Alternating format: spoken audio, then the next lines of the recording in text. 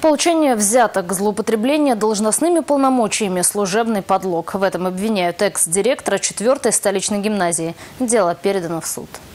По версии следствия, с марта по сентябрь прошлого года Эльвира Казакова получила взятки от родителей за зачисление их детей в гимназию на общую сумму 420 тысяч рублей. Кроме того, денежное вознаграждение она получила за то, чтобы в аттестате одной из учениц были хорошие оценки. Одна из подчиненных, опасаясь негативных последствий, передавала экс-директору по 20 тысяч рублей ежемесячно из своей зарплаты.